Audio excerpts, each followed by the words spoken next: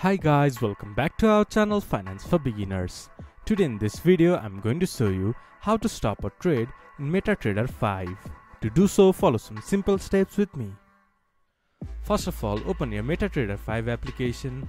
Then this type of interface will appear in your screen once you have logged into your account. From the bottom of the screen, you can see a terminal portal. If, th if this doesn't appear in your screen, just press Ctrl plus T. Then it will pop up in your screen.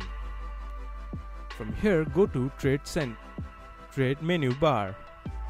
Then it will view you all your trades. From there, right click on the trade that you want to stop. Then you will see a close option.